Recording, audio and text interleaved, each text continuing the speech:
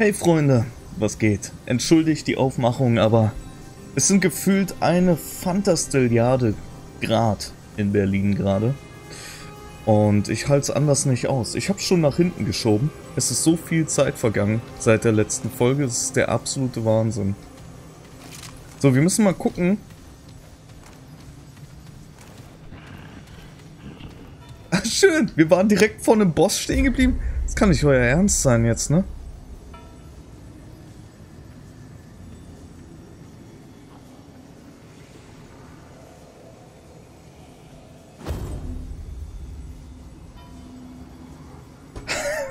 Come on, give me a break.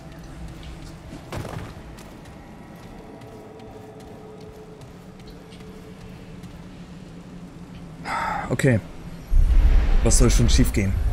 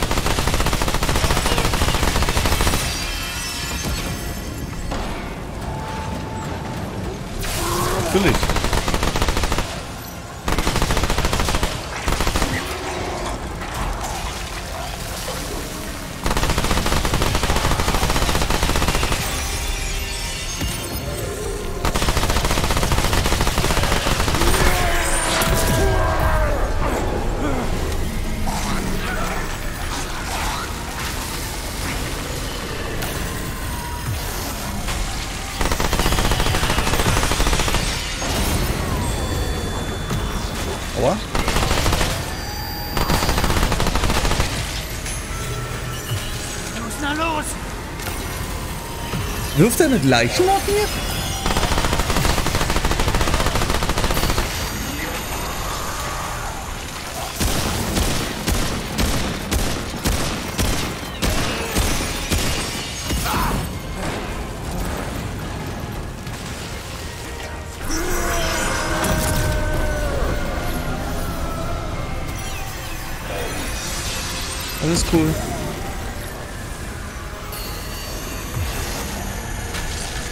Alles cool, alles cool.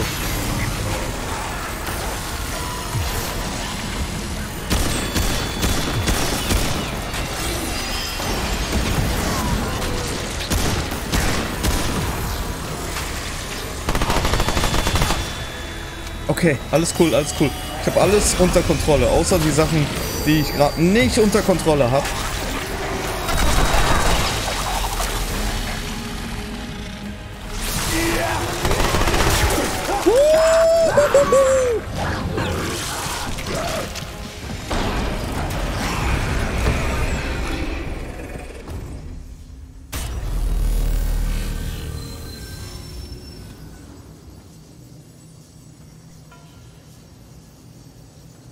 Glaube, ich bin gestorben.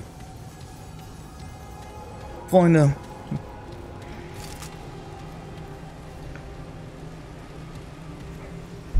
Cool.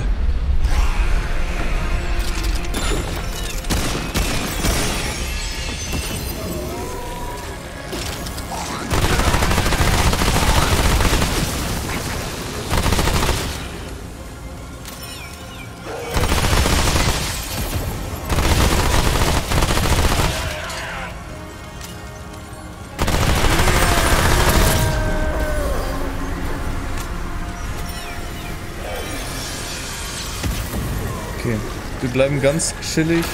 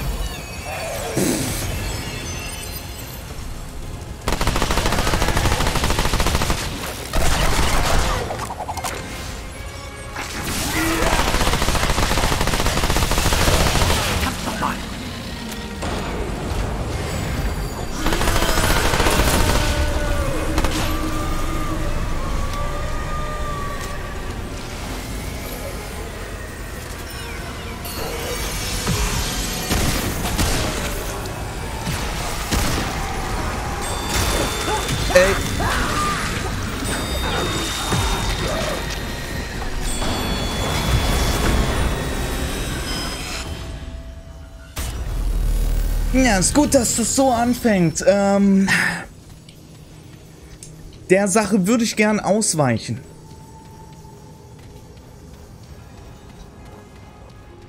Freunde, also das... Wenn wir das nicht schaffen, das wäre ja gelacht.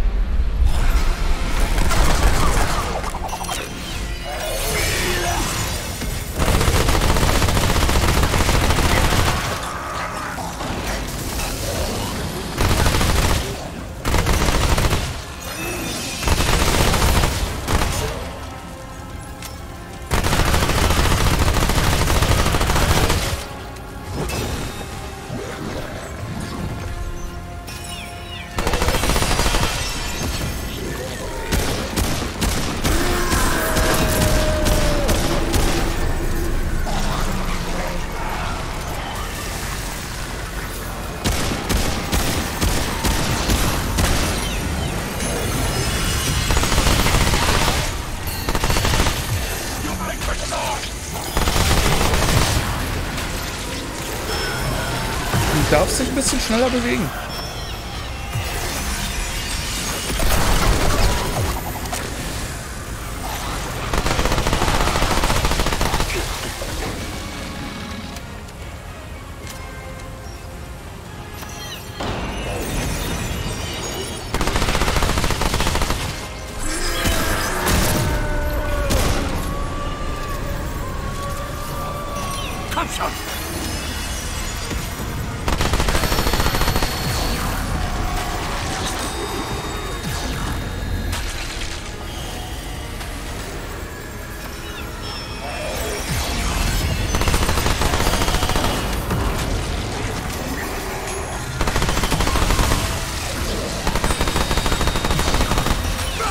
Aua!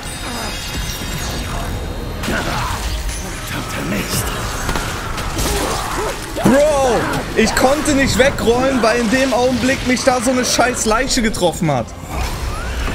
Das ist auch ein Satz, den ich nicht gedacht hätte, den ich jemals in meinem Leben sagen werde.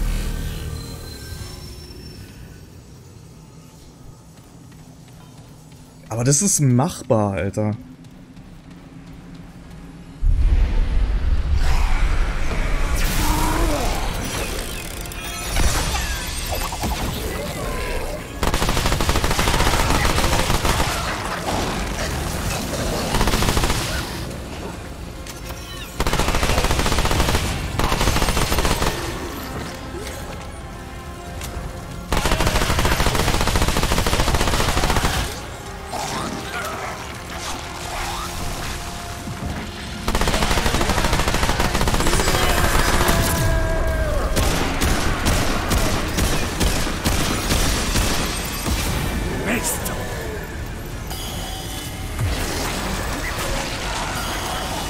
Brennen ein bisschen.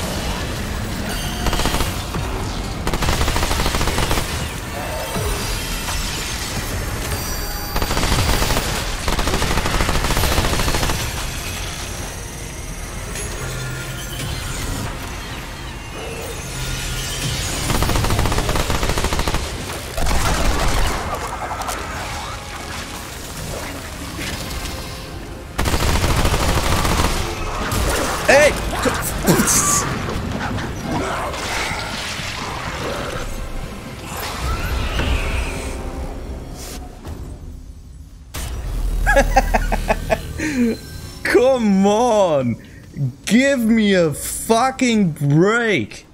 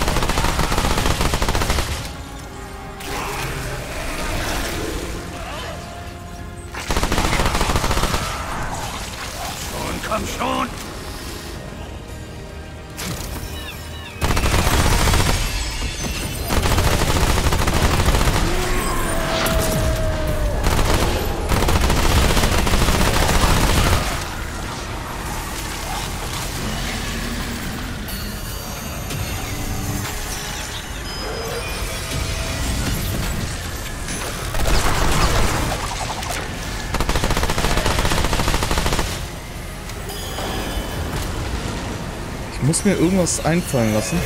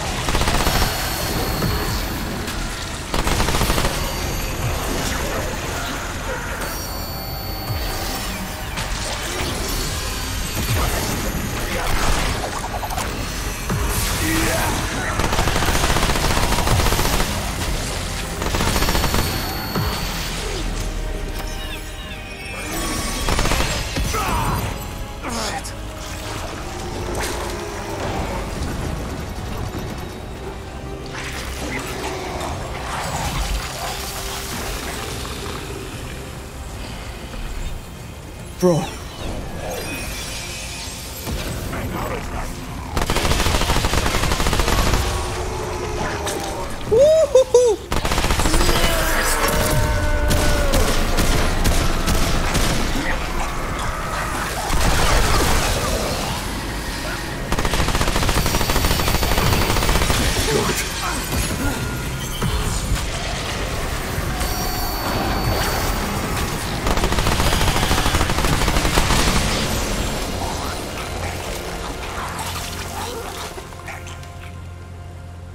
Ja, verdammt, so läuft das hier.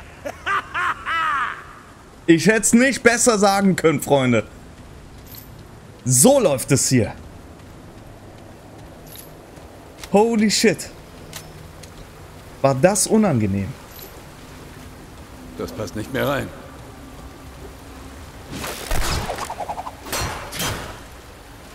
War das unangenehm. Meine Tasche ist voll. Aber habt ihr gesehen? Ich muss zugeben, das erste Mal, wo er mit der Zunge zugehauen hat, oder was auch immer das da war, da bin ich gar nicht ausgewichen, ne? Da haben wir Glück gehabt, dass da so ein Pfeiler in der Mitte äh, im Weg war. Holy shit, Alter.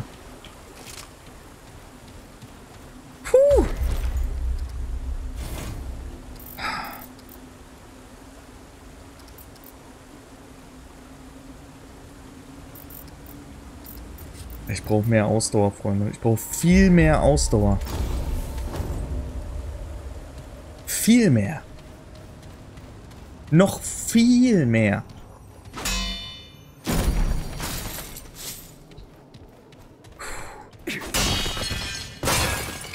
Ich konnte mich nicht mal mehr dran erinnern, dass wir an der Stelle aufgehört hatten. Aber ich weiß, dass wir nur, äh, glaub, eine Folge oder zwei Folgen aufgenommen hatten. Hotten.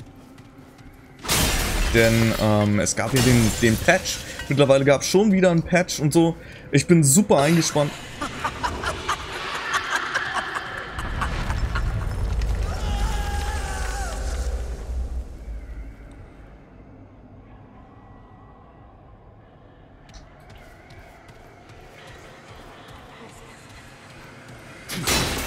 Hallo?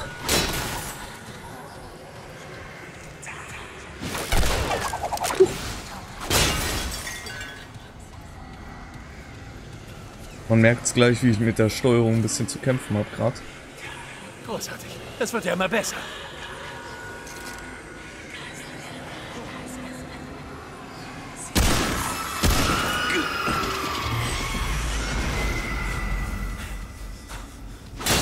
Das war sie, ne?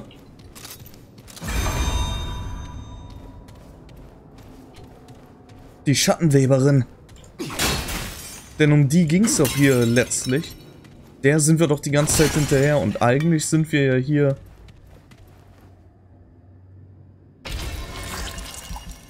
Tribut des Seelenschlüssels. Äh, Der war's?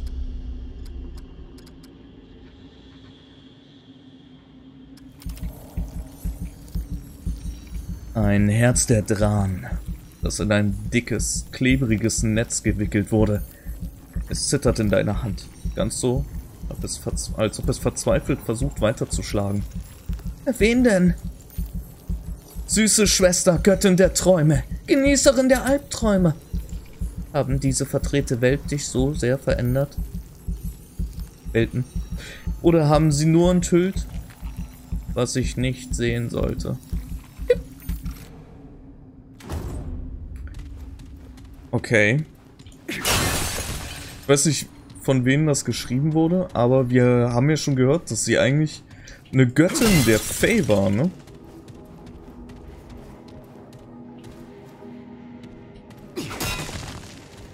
Die dann einfach nur fehlgeleitet ist. Nur. Und dann alles und jeden um sich rum zerstörte. Einfach so.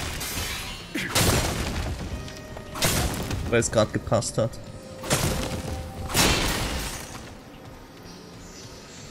Ich guck gerade, die hatten ja gesagt, dass man jetzt mehr Altmetall bekommt. Was für uns sehr gut ist. Denn wenn wir was brauchen, dann ist es mehr Altmetall. Ich hasse den Sommer so sehr, ne? Du nimmst dir was Kaltes aus dem Kühlschrank, ist gleich Fehler Nummer 1. Wenn du was Kaltes aus dem Kühlschrank nimmst, ich weiß, nee, das seht ihr nicht. Aber das ist... Hören, knien, besen. Tropft. Die Spiele, sie vegetieren dich. Wie ein Beruhigungsmittel. Oh no, Überall hier sind wir. Verrückte. Eine Plage der Wahnsinnigen. Das war der Raum, in den wir nicht reingekommen sind.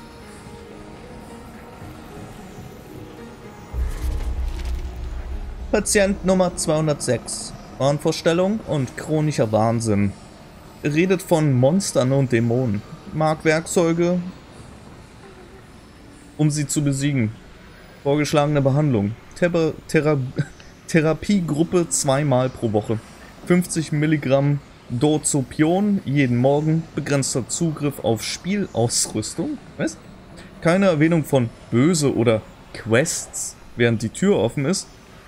100 Milligramm Oxoprodol, Alprapin, würde ich nämlich auch verschreiben, für manische Episoden bereithalten. Patient 199, akute Warnstörung. Versuchsperson ist meistens in sich zurückgezogen, zeigt jedoch gelegentlich milde Hysterie und Wutanfälle. Empfohlene Behandlung 25 Milligramm Oxoprodol, Alprapin zum Frühstück und Abendessen. Vor Verlegung der Versuchsperson sollte diese auf spitze Objekte durchsucht werden. Patient Nummer 183, katatonisch, muss täglich gefüttert werden. Also katatonisch heißt ja glaube ich nicht ansprechbar, ne? Also gar nicht so. Empfohlenes Behandlungsregime. Täglich 100 Milligramm Pentostrel, 10 Milligramm Tri Tri Trililamin. Mit jeder Mahlzeit einmal pro Woche Elektroschocktherapie. Äh, beobachten und alle sechs Stunden bzw. jede Stunde nach den Elektroschocks Befunde dokumentieren. Es ist schon ein kleiner Unterschied, ob nun alle sechs Stunden oder jede Stunde. Ha? Ha? ha. Alle sechs Stunden oder jede Stunde. Ich vermisse sie. Sie brachte mir Süßigkeiten. Ich hab's gesehen. Sie haben es gesehen. Warum haben Sie nichts unternommen? Warum? Hm, Ich hab ihm dabei zugesehen. Hm, Er riss ihr das Bein ab. Ich hätte etwas tun sollen. Ich hätte was tun sollen.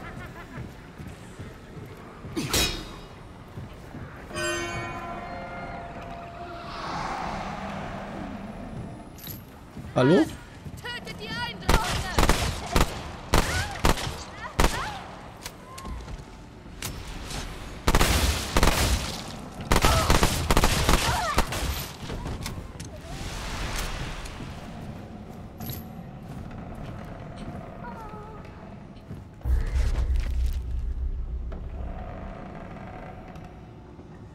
Haben wir das gelesen schon?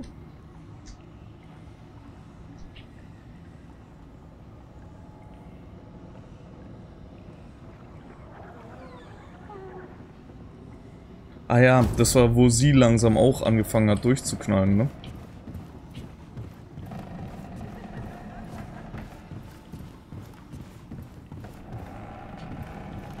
Sie war die Einzige, die mich verstanden hat. Sie werden uns hören. Dr. Morrow. Okay, ich glaube, lass mal kurz gucken. Wir müssen...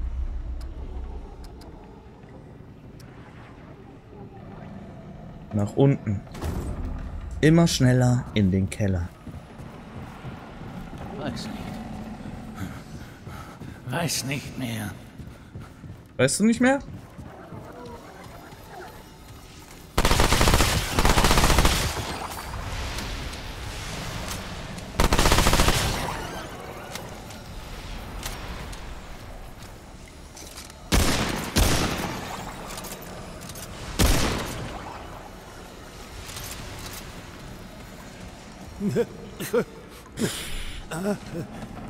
Bin ich eingenickt?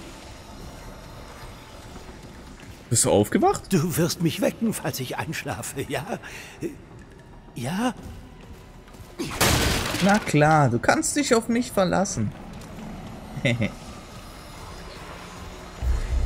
okay.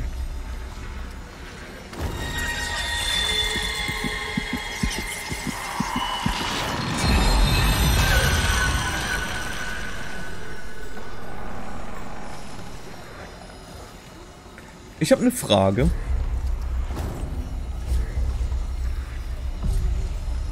Für was ist das hier?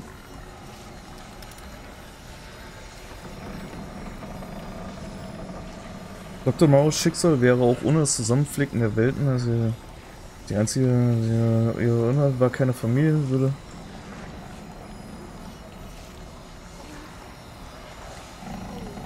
Irgendwas können wir definitiv damit noch machen, Freunde. Vielleicht brauchen wir das, äh, um der Nachtweberin zu zeigen. Vielleicht machen wir so, hier, guck mal.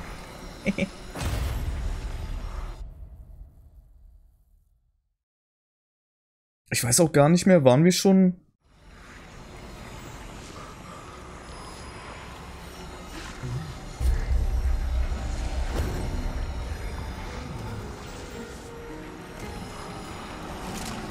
Oh no.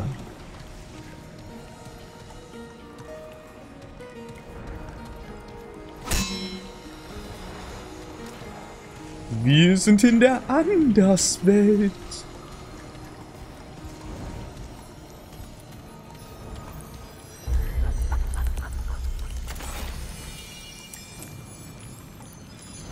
Nahkampfverhalten Traumfänger.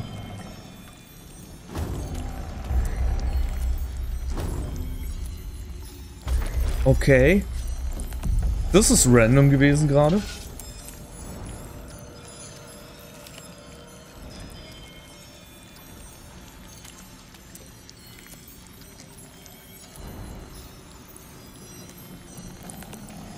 Müssen wir uns demnächst mal angucken, die Waffe. Ich bleib jetzt aber erstmal bei unserer Waffe.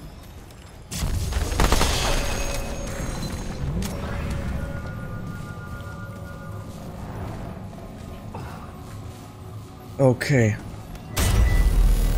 Power Level 6, Freunde. Wir gehen definitiv erstmal nach Hause. Power Level 6. Und unser Power Level ist was? 5. Das ist gar nicht so schlecht.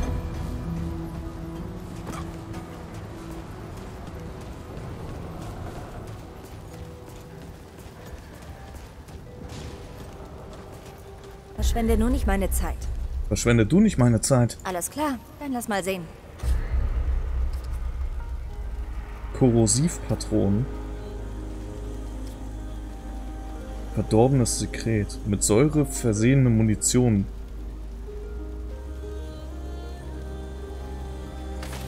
Okay.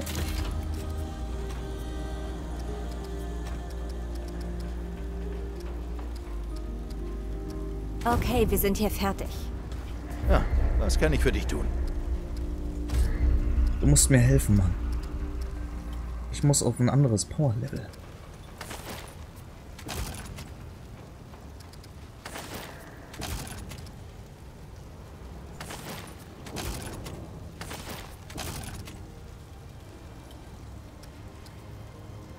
Oh, guck mal, Alter. Um das aufzuwerten, brauchen wir Luminit-Kristalle.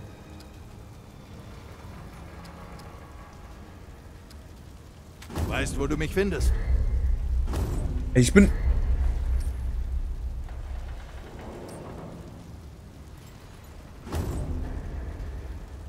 Ja, komm, Power Level 5 reicht, oder?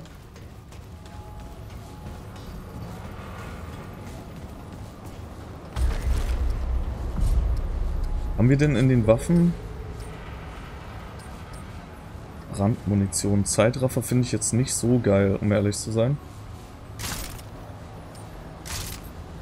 Weiß, das ist eine Mod, die wir extra hergestellt haben. Aber hier könnten wir Korrosivmunition reinmachen.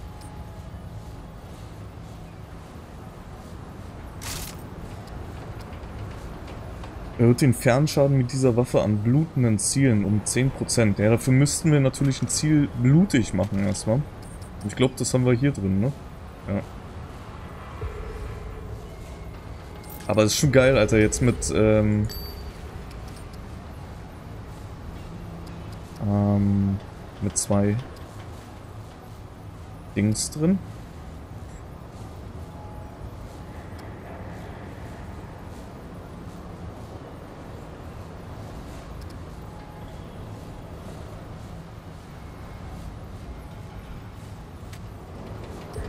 Es wäre natürlich geil, wenn wir hier schon ein bisschen gestiegen wären, ne?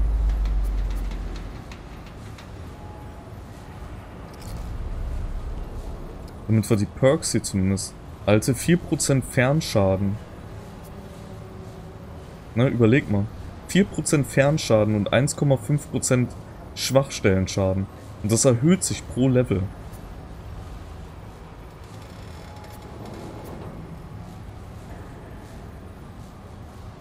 Das wäre schon richtig nice, Alter.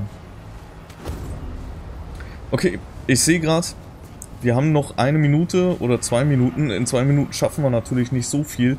Deswegen, ähm, ja, ich gehe in meinen verdienten Feierabend. Hat mir sehr viel Spaß gemacht. Danke fürs Reinschauen, wie immer. Und ähm, ja, ich hoffe, ich sehe dich auch in der nächsten Folge. Hinterlass mir gerne einen Daumen nach oben und einen netten Kommentar. Ich hoffe, du hast einen geilen Sommer. Ich bin froh, wenn er vorbei ist. Bis zum nächsten Mal. Haut rein. Bye, bye.